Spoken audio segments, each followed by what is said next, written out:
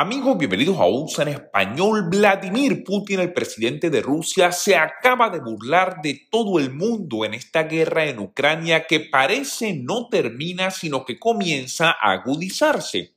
Quédense al final del video para que conozcan todos los detalles de lo que está ocurriendo en esta invasión que está experimentando Europa en este momento y ha desestabilizado prácticamente a todo el mundo. Recuerden darle clic al botón me gusta, eso de verdad nos ayudaría muchísimo y no olviden tampoco suscribirse que es totalmente gratuito. Pues comenzamos amigos y les cuento, Vladimir Putin, el presidente de la Federación Rusa, que de un día para otro decidió de manera unilateral invadir Ucrania y comenzar una guerra que no solamente ha desestabilizado Europa, sino que en este momento también ha impactado de manera indirecta a casi todos los países del mundo un presidente que decidió justamente comenzar esta guerra en contra de toda la comunidad internacional y que el día de hoy se ha burlado de manera premeditada, ha engañado prácticamente a todos los países del mundo, especialmente a su enemigo Ucrania y también a los Estados Unidos de América.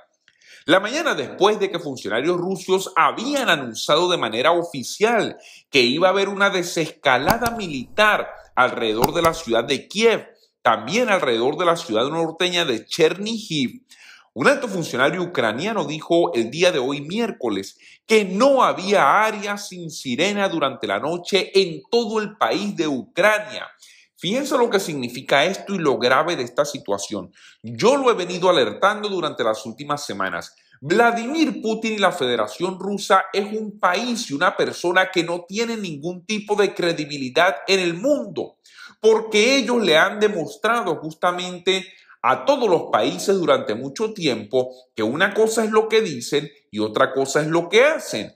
Pues Vladimir Putin le dijo al mundo, nos retiramos de Ucrania, vamos a retirar nuestras tropas de Kiev, vamos a retirar nuestras tropas hacia el este del país, en una clara señal justamente de que las tropas rusas no podían con su enemigo, de que las tropas rusas no podían tomar la ciudad de Kiev, la capital de ese país, un signo del deterioro que tienen las Fuerzas Armadas rusas en este momento. Pues Vladimir Putin optó por decirle a todo el mundo nos vamos a retirar y resulta que anoche y el día de hoy los bombardeos incluso se han intensificado alrededor de estas ciudades, lo que hace pensar a toda la comunidad internacional que este anuncio que Vladimir Putin había hecho no es más que una burla y un engaño que se ha tratado de aprovechar de un enemigo mucho menor, como lo es el caso de Ucrania, para poder seguir justamente con sus planes de continuar apoderándose de ese país. Hubo una alarma aérea en todo el país durante la noche, así lo dijo el asesor del ministro del Interior ucraniano. De hecho, no hubo ningún área de todo el país en donde no hubo sirenas. Ustedes saben que estas sirenas suenan cuando vienen justamente ataques aéreos y bombardeos por parte del ejército ruso.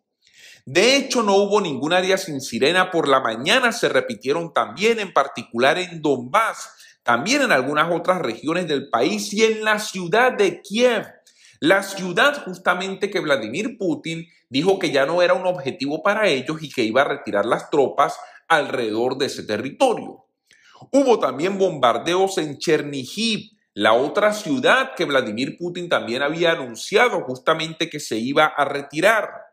En Kiev varios cohetes fueron derribados sobre la capital gracias al sistema antiaéreo que tiene la capital que ha sido previsto justamente en caso de bombardeos y que con el apoyo de la comunidad internacional han obtenido a lo largo de los años y especialmente durante las últimas semanas. Recuerden, la OTAN y especialmente los Estados Unidos no se están involucrando de manera directa en este conflicto, pero están apoyando militarmente los esfuerzos de Ucrania para continuar resistiendo y lo más importante, repeler al enemigo invasor que se encuentra durante el último mes dentro de su territorio. También este asesor del Ministerio del Interior describió la situación en las ciudades sitiadas de Chernihiv y Mariupol como una situación muy difícil también alrededor de la capital. Hubo algunos informes de combate cerca del suburbio occidental de Irpin, durante toda la noche, así lo dijo este funcionario, en un comunicado para alertar a la comunidad internacional que la Federación Rusa lo que ha hecho prácticamente es engañar a todo el mundo por completo. Recordemos, durante las últimas horas casi todos los países del mundo se habían alegrado porque Vladimir Putin y Rusia habían dicho que iban a comenzar justamente esta desescalada militar como ellos lo llaman en Ucrania, pero al parecer las acciones el día de hoy han demostrado totalmente lo contrario, lo que llena de preocupación que más víctimas pudieran incrementarse en las próximas horas y que este conflicto, en lugar de terminar, comienza a agudizarse en este momento. Así que no hay necesidad de decir hasta ahora que los rusos están reduciendo la intensidad de las hostilidades en las direcciones de la ciudad de Kiev y la ciudad de Chernihiv. Así lo dijo este funcionario el día de hoy para aclarar la situación real de lo que está ocurriendo en el terreno. Recordemos, ellos hacen unos informes prácticamente diarios de la situación de la guerra a nivel general, especialmente en las zonas donde las tropas rusas se encuentran en este momento. Recuerden que las tropas rusas en general no han podido avanzar por todo el país por la grave resistencia feroz por parte del pueblo ucraniano y de sus fuerzas armadas prácticamente son las zonas del este y del sur que tienen tomadas por parte del ejército ruso, pero no han podido tomar la mayor parte del territorio. Pues estas regiones que pensaron que el ejército ruso iba a comenzar a retirarse, al parecer todo indica totalmente lo contrario. Podemos decir que sí, de hecho, ciertas unidades y equipos se están moviendo hacia el territorio de Bielorrusia, así lo dijo el funcionario pero parece más una rotación y lamido de heridas que un cese real de las hostilidades, así lo dijo este funcionario el día de hoy.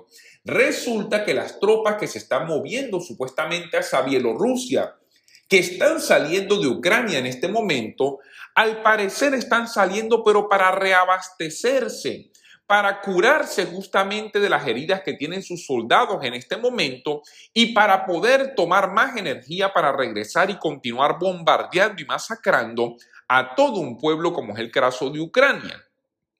En la ciudad de Irpin, las fuerzas ucranianas habían descubierto muchas minas, también algunas trampas explosivas, incluidos cuerpos con trampas de explosivas mientras se despejaban el área, así lo dijo el funcionario del Ministerio del Interior. Esa afirmación no pudo ser verificada de inmediato por parte de los medios de comunicación cuando recibieron el informe, pero se encuentran en este momento tratando de diagnosticar cuál es la situación real en el terreno. Por lo tanto, una gran solicitud para todas las personas que quieren regresar a sus hogares. Por favor, esperen, no lo hagan todavía, no regresen a sus casas. Se anunciará oficialmente cuándo pueden ingresar a la ciudad Así lo dijo el Ministerio del Interior de Ucrania. Y esto es lo más grave de la situación. La gente, por un lado, se llenó de alegría. El pueblo ucraniano que ha tenido que salir corriendo, abandonar sus hogares para poder salvar sus vidas.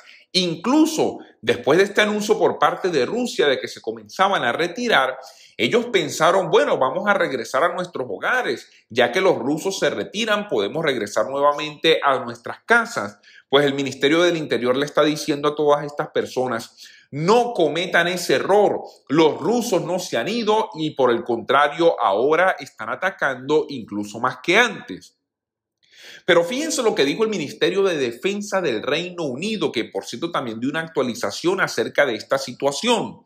Algunas unidades rusas han regresado de manera oficial a Bielorrusia después de sufrir grandes pérdidas en el campo de batalla en Ucrania. Así lo dijo el Ministerio de Defensa del Reino Unido en una de esas actualizaciones diarias que ellos hicieron acerca de la inteligencia que han recibido por parte de Ucrania, también de Rusia y todos los informes que ellos tienen de lo que está ocurriendo de manera cierta y certera sobre el terreno. Las unidades al parecer están regresando pero para reorganizarse y reabastecerse en Bielorrusia. En lo que el Ministerio de Defensa dijo que era una indicación de que las dificultades logísticas que Rusia está teniendo en Ucrania son bastante graves, pero hay que tener mucho cuidado porque cuando vuelvan a tomar justamente y a reabastecerse en Bielorrusia, pueden regresar nuevamente a seguir masacrando a todo un pueblo. Amigos, información importante, recuerden suscríbanse, usan español, denle clic al botón de like, enciendan la campanita y compartan este video para que todos estemos informados. Muchas gracias y hasta una próxima oportunidad.